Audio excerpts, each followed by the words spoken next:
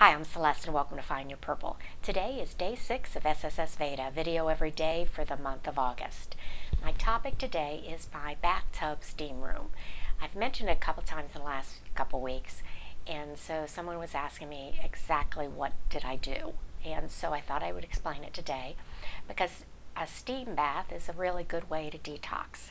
And I'm trying to move towards this a detox in the next couple months and flushes and all of that. And so I thought about buying one of those small steam room, portable steam rooms, but I didn't have a place to set it up and I was worried about the moisture and all of that.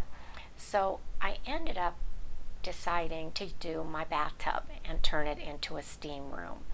And I lay a towel out on the bottom and then I bought a steamer from, from Amazon for about $55 and it's meant to do a portable steam room. It's about that big. And when I got it, had I rated it, I would have given it a 1. It's very flimsy, and it came from China, and it's probably not going to last very long.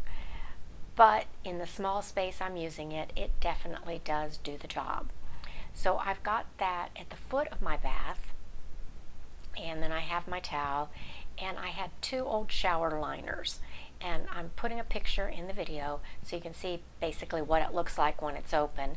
Um, I found two candy canes in the garage that were hooked to keep for storage by the electrical cord. And so they're they're shaped like that but they're hooked together. And the way they were sitting in the garage they'd come apart.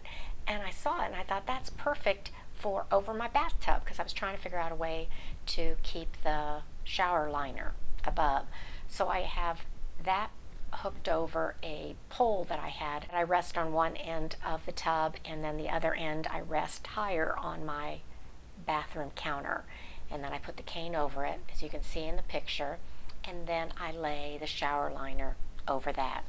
I'm using arm weights that I haven't been using kind of to anchor it around the tub, but I use distilled water in the little steam machine. In about 10 minutes, it's hot, and I climb in, shut the door behind me, listen to something on my phone, music, podcast, a, a book on tape, and I'll stay in there 20 to 30 minutes, depending. Now, if I have the time, I do a dry brush before I go in. Uh, sometimes I'm leaning on the back of the tub, kind of more in a reclining position. Other times I'm sitting kind of in the middle of it, closer to the steam machine.